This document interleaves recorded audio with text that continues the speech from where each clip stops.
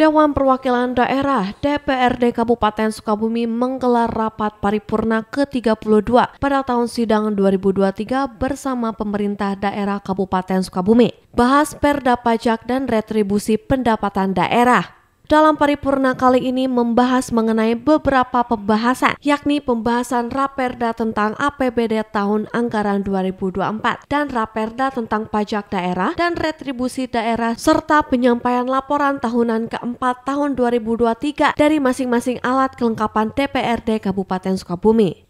Dalam kesempatan ini, Bupati Sukabumi Marwan Hamami menyampaikan bahwa daerah harus semakin inovatif dan kreatif dalam menggali potensi pendapatan asli daerah atau PAD, khususnya peningkatan pajak daerah dan retribusi daerah guna mewujudkan kemandirian fiskal. Tidak hanya itu, Raperda tersebut dapat memberikan kepastian hukum dalam pemungutan pajak dan retribusi daerah.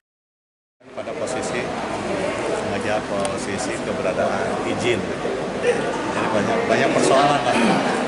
Dulu kan kita mau memulai uh, BPK KPK tidak membolehkan hari ini ada ruang.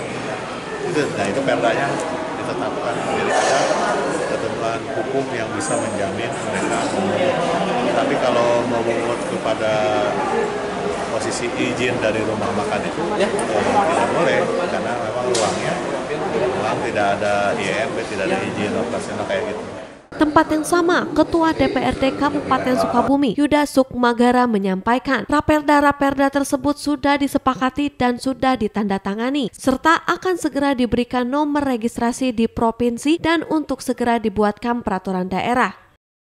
Kalau mengenai anggaran 2024 sudah ditandatangani bersama dan juga sudah disepakati dan juga segera di, akan diberikan uh, nomor registrasi ke Provinsi Jawa Barat, jadi Bupati tadi pun juga sudah menandatangani itu.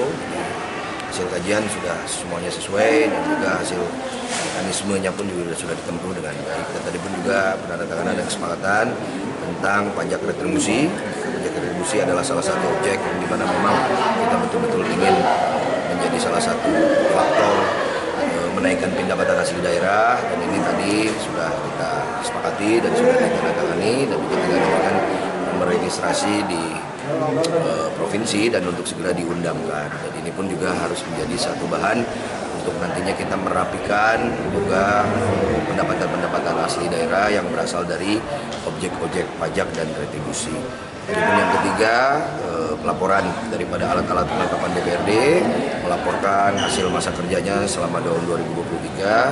Hari ini di pengakhir tahun tadi sudah dilaporkan eh, poin-poin yang hasil sesuai dengan tugas Fopo dan fungsinya. Dari Pelabuhan Ratu Kabupaten Sukabumi, Indra Sopya melaporkan untuk Dinamika.